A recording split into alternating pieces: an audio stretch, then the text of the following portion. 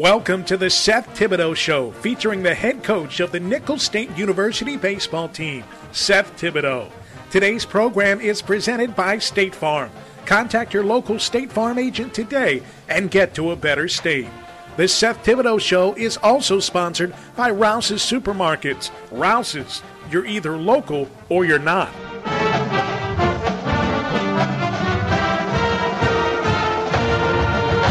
Afternoon and welcome to the Seth Thibodeaux Show presented by State Farm Insurance. I'm your host, Mike Wagon. I'm here with the head coach of the Colonel baseball team, Seth Thibodeaux. Welcome as always. Mike, thanks, buddy. You know, we talked last week, and the Colonels were heading into a critical series against McNeese State, and I wanted to look ahead to the entire series and take a look at the Southland Conference postseason picture. All you wanted to worry about, all you wanted to talk about was Friday night and getting the jump on the Cowboys you focused on that and it turned out pretty well. Yeah, I felt like if we can take care of our business one game at a time, which is what the norm is around here, uh, then we'd be able to be really successful for a long period of time. And uh, if we start thinking too too far ahead, we're going to catch ourselves a little bit, and we wanted to really focus on Friday night.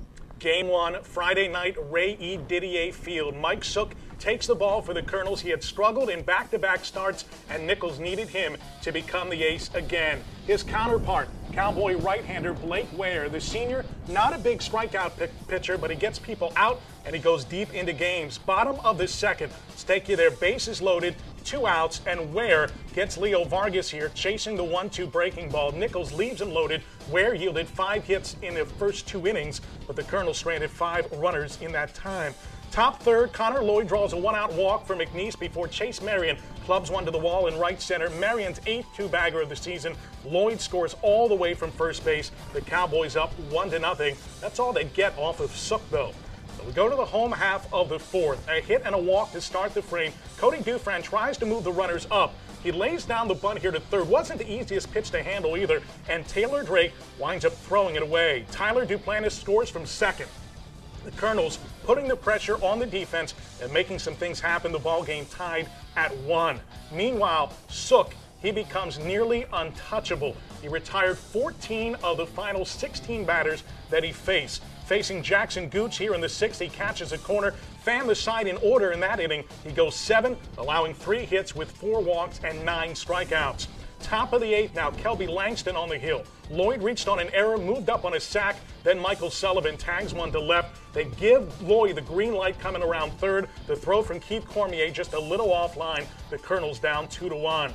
But Cormier, after a game-tying home run in the eighth against UL Lafayette last Tuesday, does it again here. Lead-off shot deep down the right field line, tucked just inside the foul pole, and that would knot the ball game up at two. Cormier was off to an outstanding weekend that would lead to several awards for him. Colonels bring in Jordan McCoy in the ninth. Gooch doubles, moves up on a bunt, and then the wild pitch uncourt. Nicholls down for the third time. It's 3 to 2 McNeese.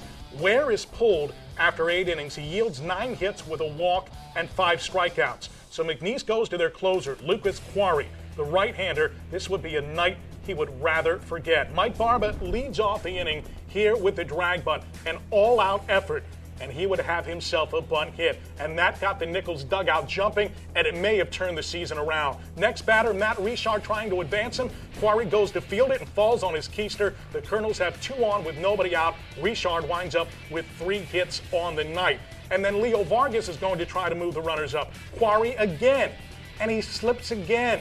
Nicholls has him loaded with nobody out.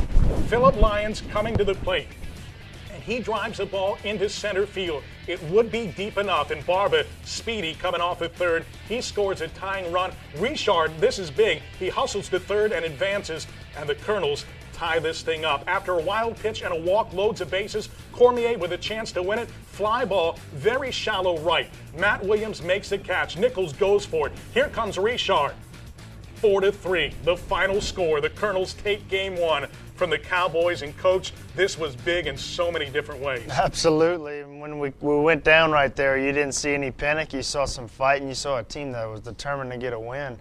And it all started with Mike Barba play, getting that single, that bunt uh, down, and it was just grit and determination. He sold himself out, got a play, and then you, we knew we were going to win the baseball game after that. That is a play that really defines what this Colonel team is That about. defines our program. That's what we do. It's who we are, and it's, it's grit and determination. And when we play that way, we're not going to get beat by anyone.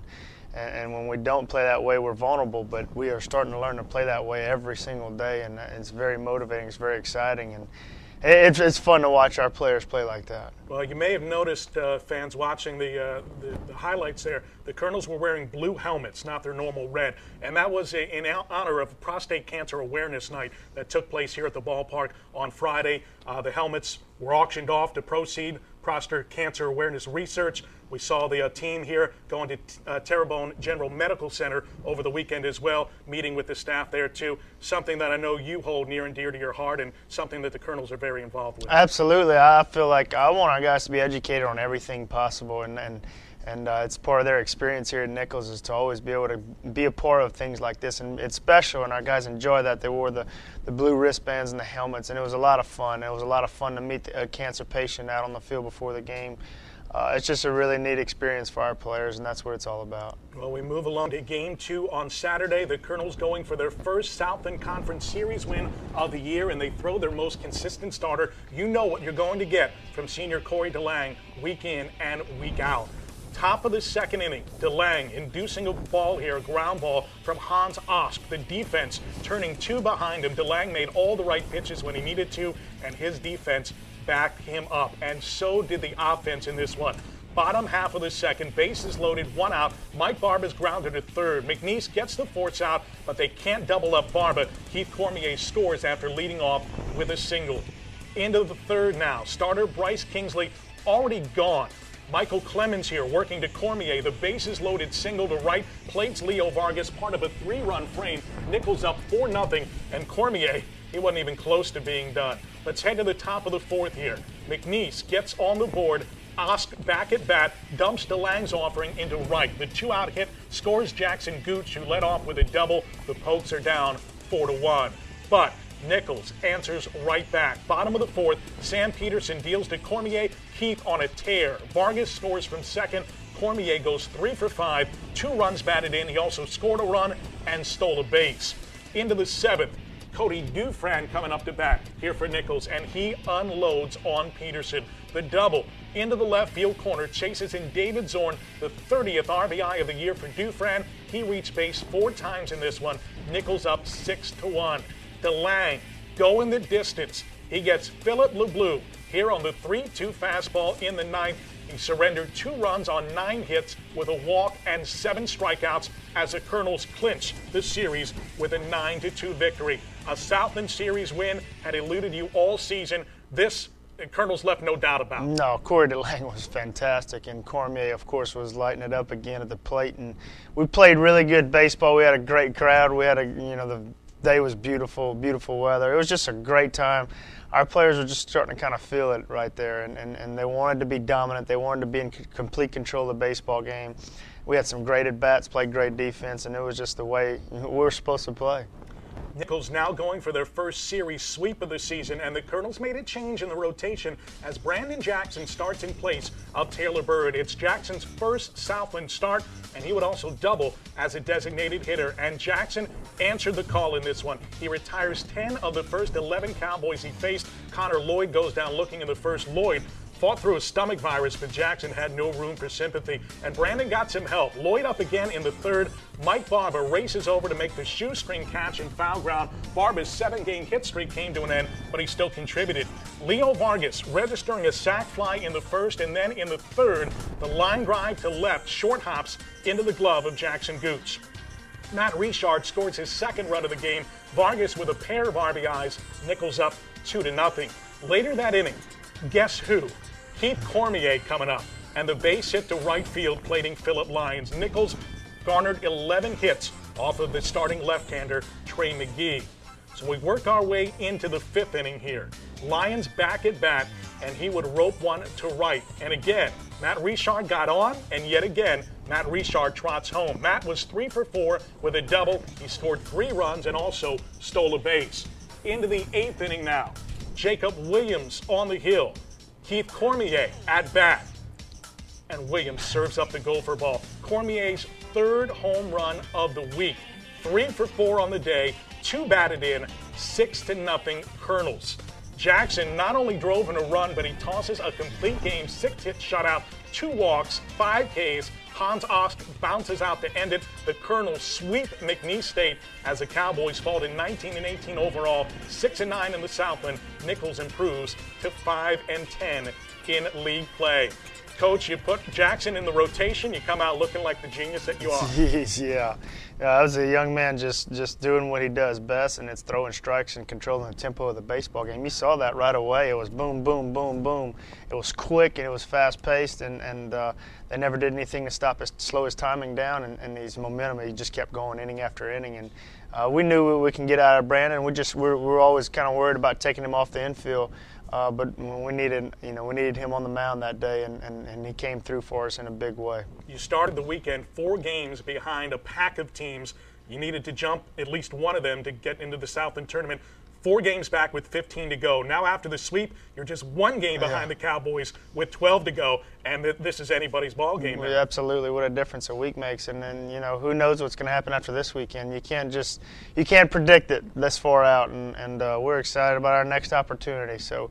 We're just going to take it one game at a time, continue to play good baseball, and, and stay hot and play good baseball at the right time of the year, which is very important. Well, we step out of Southland play here for a moment. The Colonels headed to New Orleans on Tuesday to face future Southland rival UNO. Lefty Taylor Bird got the midweek start, and he responded well. He was dominant in this one. Bird goes six shutout innings, yielding just three hits with nine strikeouts. He fans Zach Liberto here in the first inning, and the bullpen pitched well behind him, too. And his teammates supported him. Mike Barba tees off on UNO Southpaw Stephen Potter in the second. Home run number two on the year for Barba. The two run shot is part of a four run five hit frame. And the offense wasn't done. They added three spot in the third. Zach LeBuff getting his second consecutive start. The RBI double down the line. This one was decided early. The Colonels win 16 to 5, sweeping the season series from the Privateers to improve to 22 and 20 overall.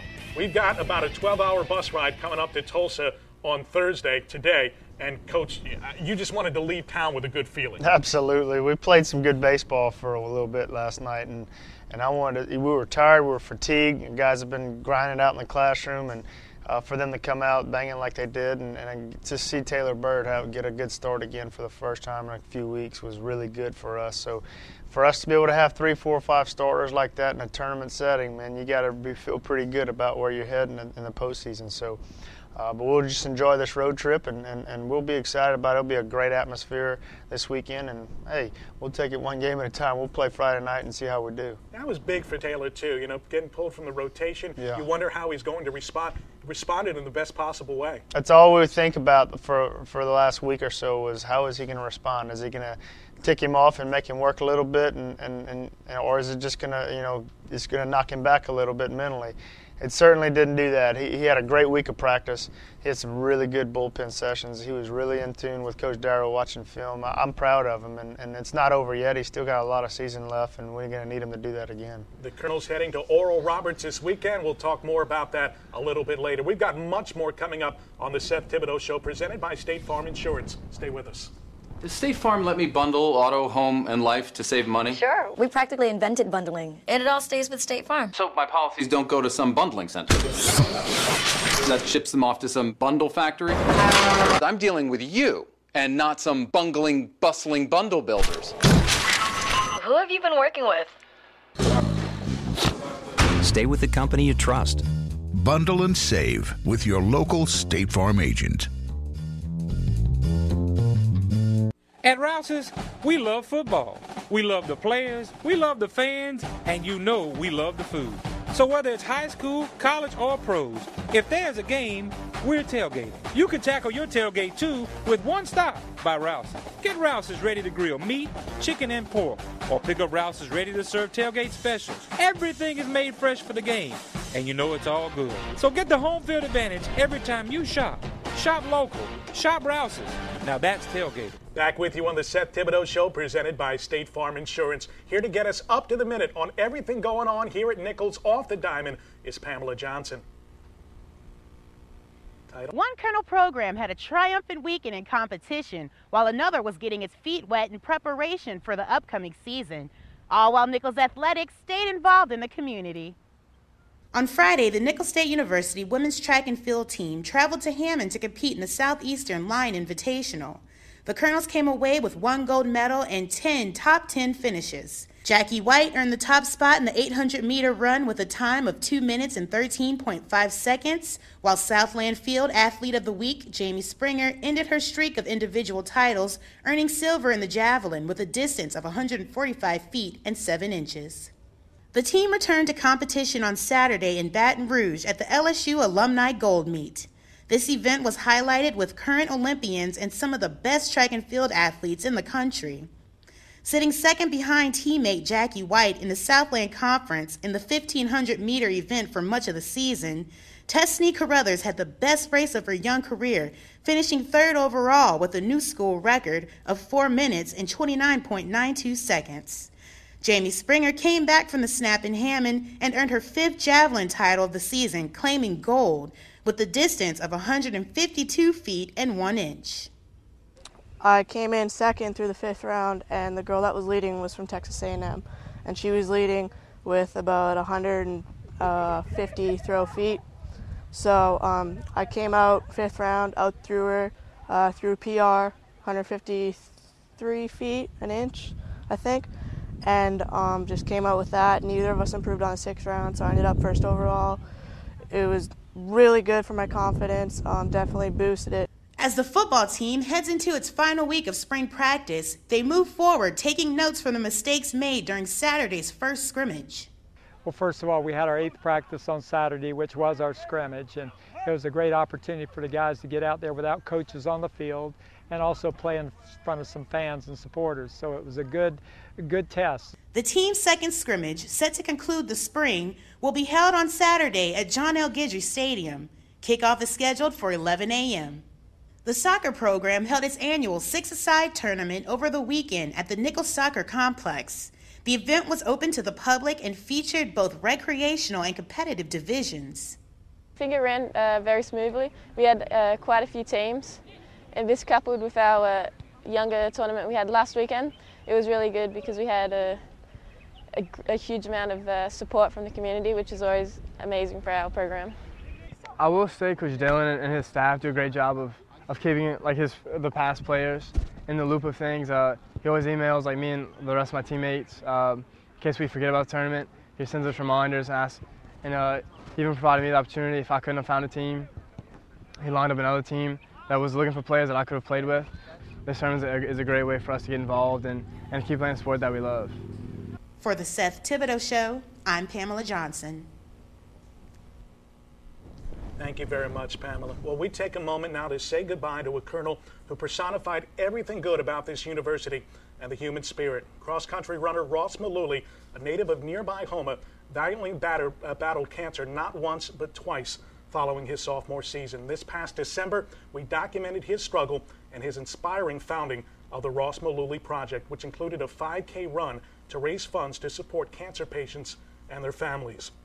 An academic all conference honoree and former student government senator, Ross left us on Sunday at the all too young age of 22. He won't be forgotten.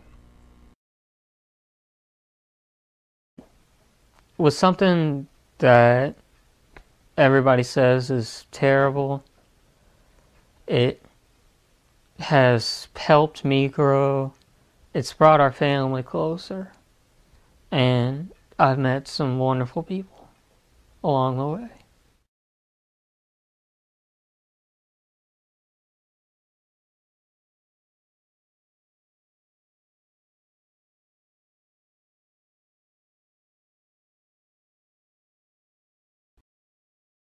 Does State Farm let me bundle auto, home, and life to save money? Sure. We practically invented bundling, and it all stays with State Farm. So my policies don't go to some bundling center that ships them off to some bundle factory? I'm dealing with you and not some bungling, bustling bundle builders. Who have you been working with? Stay with the company you trust.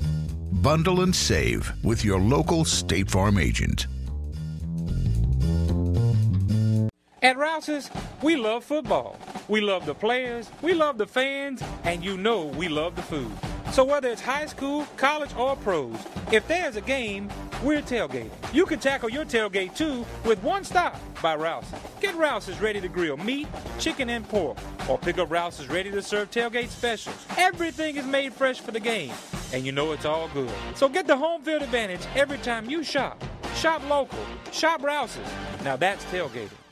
Back with you on the Seth Thibodeaux Show, presented by State Farm Insurance. Well, this year, there's one Colonel fan that stands out among the rest, but many unanswered questions surround this mysterious newcomer. Ashley Dufresne helps us solve the mystery of Nicholls' favorite unofficial mascot. Here at Nicholls State University, we have a new fan that has decided to give our baseball program all his time and support. This creature from many miles away has become attached to the team and the fans, all because they share a similar passion.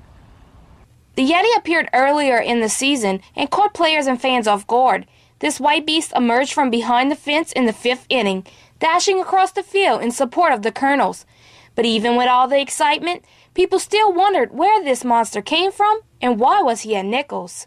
Well, the Yeti's originally from Alaska. Uh, he played college baseball up there and was great from what we've heard. Um, obviously, we don't have any actual game footage of him, but um, everyone that we've talked to from his school, uh, and they're actually, um, he's done some interviews where they talked about he has a special pitch that he used to throw up there that was amazing. Um, he, he was dominant in Alaskan uh, baseball. And after graduation, he didn't really know what to do. Uh, he was kind of lost there for a while, which I know a lot of that happens to a lot of people after graduation. You don't really know what to do. Um, he ended up making his way down all the way to Louisiana uh, in search of a way to share his passion for baseball. Um, ended up at Nicholls one day, uh, walked out on the field during the fifth inning, and the rest is history. With all his passion for the game, Yeti still was on another mission when making his way down south. Yeti is looking for romance. While he might look cruel on the outside, deep down, Yeti is a hopeless romantic. The Yeti's actually really a romantic guy, from what we've uh, been told. Uh, he's in search of a female Yeti that he can marry. He wants to find a wife down here, which uh, the selection of Yetis in Louisiana is a little more bare than it was in Alaska although they're easier to find uh, without the snow. While the Yeti is still in search for a mate, he spends most of his time around his true passion, rarely missing a home game while lingering around the team's facilities on off days. But when the club hits the road, there simply isn't enough room on the bus. Poor Yeti gets left behind and wonders Thibodaux seemingly lost. Yeti gets really depressed when the team's away. Um, I know, you know, he, he sleeps in Coach Tibbs' office all the time. I guess that's where he, lives now. But uh, when the team goes away, they don't really have enough room to take him. Um, you know, we, we've seen him out here on the field from time to time, uh, just walking around, throwing a baseball to himself. It, it gets really sad. And it's it's really hard for Coach Tibb because he, he wants to take him, and it, uh, but he just can't. And um, I mean, the Yeti, he just really doesn't know how to handle it. Yeti has formed a bond with the team, and with him being a former pitcher, he has grown close to Colonel Hurlers, Mike Sook, and Corey DeLange, with whom he's developed a comfort level. I would have to say the Yeti's favorite player out here is, uh, just from what we could tell, is Michael Sook. Um, Corey DeLange is his, his second favorite. Uh, they've kind of taken him under their wing since they're all, you know, kind of big creatures and – and they, uh, they, they like to eat a lot. All three of them. They'll put a restaurant out of business, but uh, they've uh, they've taken the Yeti into their little brotherhood of. Uh, they call them the Bash Brothers now, from what I've heard. While we know Yeti loves Nicholls baseball, it's still unclear how long he will stick around. Nicholls hopes he will be near for some football and basketball while waiting on next year's baseball season. You know, we've tried to pin Yeti down on a timetable, how long he's going to stick around. Um, you know, is he going to help out with football? Is he going to go over and join basketball sometimes? Um, you know, and it's hard. Obviously, his passion is baseball, but he's a pretty athletic guy and uh, loves all sports. So, you know, we're kind of hoping that after baseball season, he'll want to stick around. The only way we can make Yeti a permanent fixture around Nicholls is to let him know we enjoy his company and being involved in activities with him. Showing him support when the team is gone the next two weeks will only improve our chances of Yeti hanging around. One thing about the Yeti that, that he would never say, but I'll say it for him. Um, it is hard when the team leaves, and uh, you know, there's there's the team is gone. You know, half the time, half the games are away games. So when they're gone, he's a lonely guy, and uh, he really appreciates the interaction on his Facebook and Twitter um, because he spends a lot of time there when the team's not here, and and it really helps him to kind of get rid of that loneliness when he's got other people talking to him on Facebook and Twitter and kind of keeping him keeping him content. So he would never say it, but go like his Facebook, go talk to him on Twitter, keep him company because when the team's gone, he's really depressed, and I know he would appreciate it.